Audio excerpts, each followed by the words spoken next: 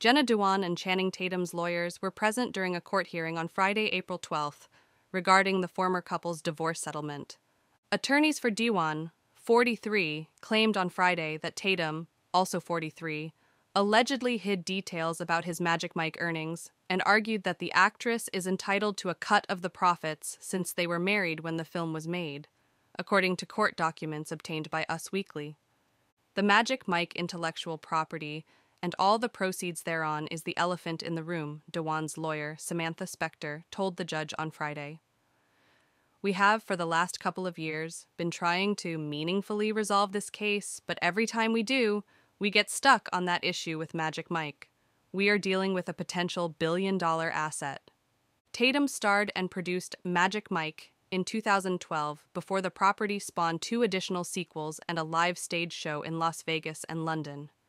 Dewan's lawyer argued on Friday that her client should receive fair and equal compensation since they were married when the film was initially developed and produced, which Tatum paid for with their shared marital funds. Spector did confirm that Dewan had received some money from Tatum, but claims it doesn't accurately account for the full success of Magic Mike.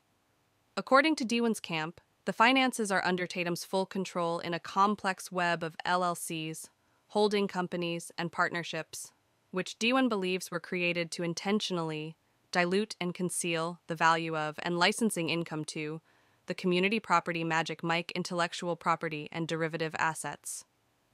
Tatum has not publicly addressed Dewan's court claims. Us has reached out for comment.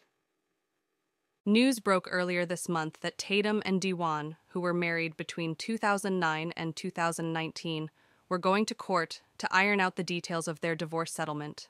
According to court documents, the now exes as well as Dewan's fiance, Steve Kazee, would testify over their financial situations. The docs also mentioned Dewan's Magic Mike concerns, in which she alleged that Tatum refused to equally split the franchise's intellectual property.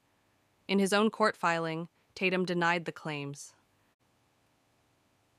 Channing has expended extensive efforts since separation towards the enhancement of the Magic Mike intellectual property and related entities, which respondent contends give rise to his separate property interests therein, the documents read. The court will need to allocate the community interest and respondent's separate property interest in the intellectual property and related entities in consideration of respondent's post separation efforts. Tatum and Dewan, who met while filming 2006's Step Up, weed three years later.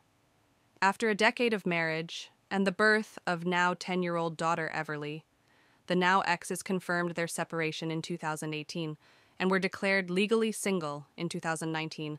They share 50 50 custody of Everly and have worked to have an amicable co parenting relationship. It's always a journey, Dewan told Romper in a January interview. It never ends. You just learn as you go and get better at certain things. And for me, Evie will always be my top priority. I just continually put her first. That's how I can manage all hard things.